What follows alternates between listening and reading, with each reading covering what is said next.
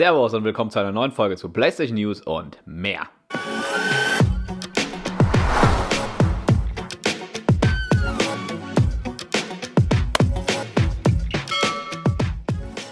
Willkommen zurück auf meinem Kanal. Schön, dass du wieder mit am Start bist. Und ich habe gestern ja bereits ja, mein Video hochgeladen für die Headsets im Vergleich. Wenn ihr da noch Fragen, Anregungen habt, schreibt es in die Kommentare rein. Und ansonsten würde ich sagen, wir legen auch direkt los und schauen mal, was ist letzte Woche alles passiert und was erwartet uns jetzt in dieser Woche. Vielleicht eine lustige Anekdote als erstes. Und zwar im Netz habe ich gefunden bei Reddit, der Redditor BSG015 hat angeblich zwei PlayStation 5 Slim-Konsolen geliefert bekommen von Amazon und er hat sich gewundert, weil er hat beide nicht bestellt. Dann hat er sich an Amazon gewandt und dann sagt Amazon, ja, nee, also keine Ahnung, wir haben das eigentlich nicht geliefert oder das ist irgendwie ein Fehler. Du darfst beide Konsolen behalten. Also schreibt er hier so, ob das wirklich so stimmt. Es gibt auch ein Foto, keine Ahnung. Jetzt wird natürlich gemungelt, woran es liegen könnte.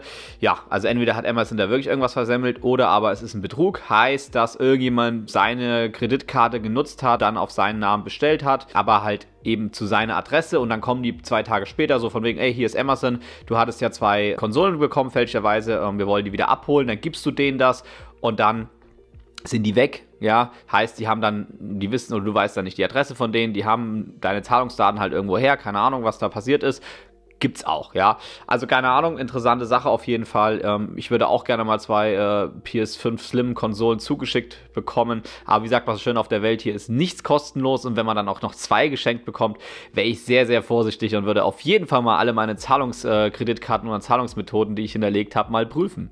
Dann kommen wir zum nächsten Highlight und zwar Stellar Blade, das Game, was ja jetzt am 26.04. rauskommt, exklusiv für die PlayStation 5. Ich hatte davon bereits berichtet gehabt dass es eben die Demo gibt für 25 Cent.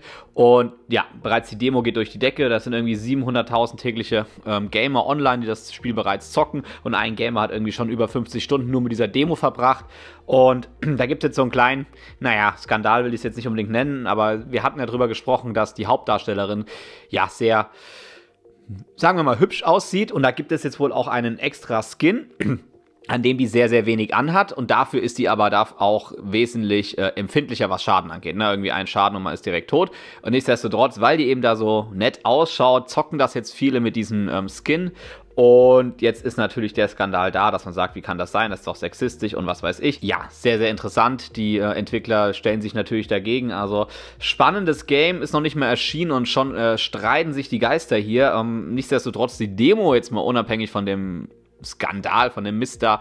Sehr, sehr geil und ich habe auf jeden Fall Bock auf den 26.04. Äh, Macht es euch gerne in den Kalender und dann kommt endlich Stellar Blade exklusiv für die PlayStation 5 raus. Als nächstes, ich weiß nicht, wer von euch hat alles Fallout 4 gezockt? Vielleicht noch auf der PlayStation 4, ist ja schon ein paar Jahre alt, das, der Titel. Und jetzt endlich ist es soweit, war für letztes Jahr schon angekündigt, doch jetzt soll zeitnah ein Update rauskommen, dass Fallout 4 auch für die nächste Generation auf, auf Konsole, wollte ich schon sagen, also Next Generation Konsole kompatibel ist. Heißt, ihr habt dann bei Fallout 4, wenn ihr denn eine PlayStation 5 habt, was die meisten wahrscheinlich auch mittlerweile haben werden, folgende Vorteile. Gilt natürlich nicht nur für die PlayStation, sondern auch für die Xbox und PC. Wir haben wieder Performance- und Qualitätsmodus-Einstellungen. Wobei ich da immer noch sage, ich warte ja auf die PlayStation 5 Pro. Was ich immer wählen muss zwischen Performance und Qualität nervt mich. Warum können wir denn nicht Performance und Qualität zusammen haben? Aber okay, gibt zumindest jetzt wieder die Auswahl. Dann haben wir im Performance-Modus wieder die Framerate bis zu 60 FPS eine höhere Auflösung und Stabilitätsverbesserung und Fixes. Höhere Auflösung wird aber nicht genannt, wie was für eine Auflösung. Sind es dann native 4K, sind es die nicht? Ist es wieder Upscaling? I don't know. Fakt ist auf jeden Fall Fallout 4 bekommt jetzt nochmal ein, ein, großes Upgrade. Also vielleicht auch für alle, die es noch nicht gezockt haben, eine gute Möglichkeit, wenn das Upgrade rausgekommen ist, dann zu zocken. Und so wie ich das jetzt auch verstanden habe, ist es einfach nur ein Update für das normale Fallout 4 und man muss dafür nichts extra zahlen. Das finde ich ja mal ganz cool. Genau, nicht so wie mit The Last of Us und Remastered. Okay, da waren es nur 10 Euro, aber naja, anderes Thema.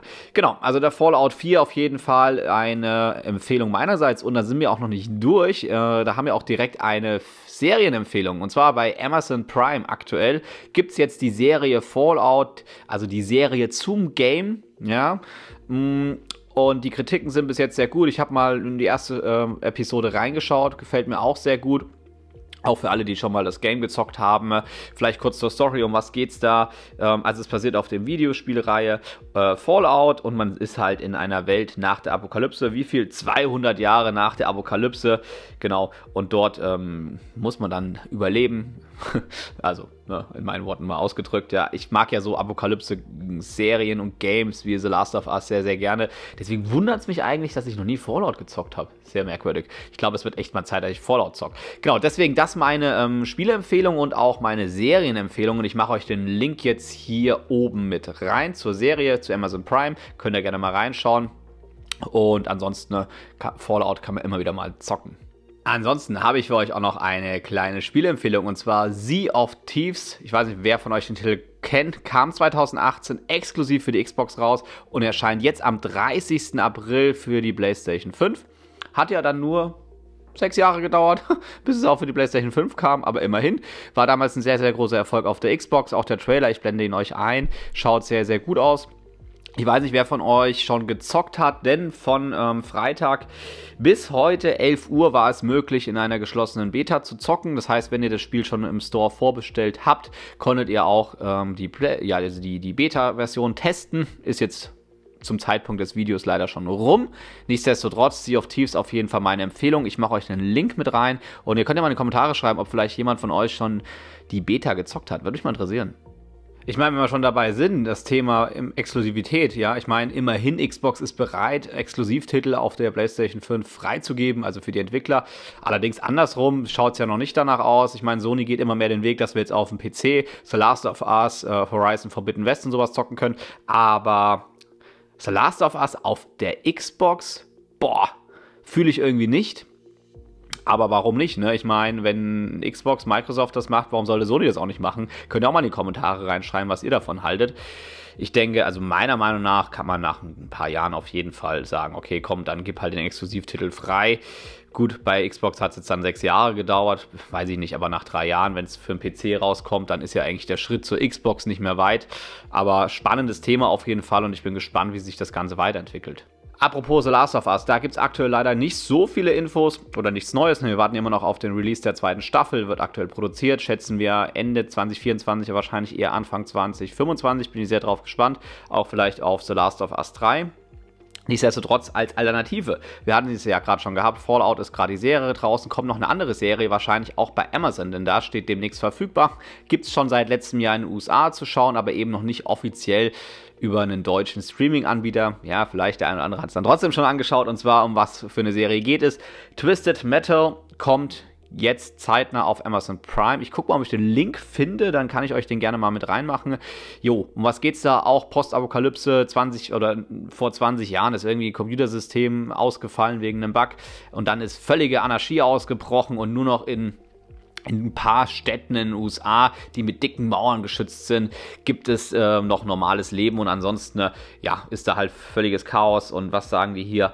Es gibt sogenannte Milchmänner, die sich in aufgemotzten Kachen todesmütig in gefährliche Ödland der Divided States of America begeben.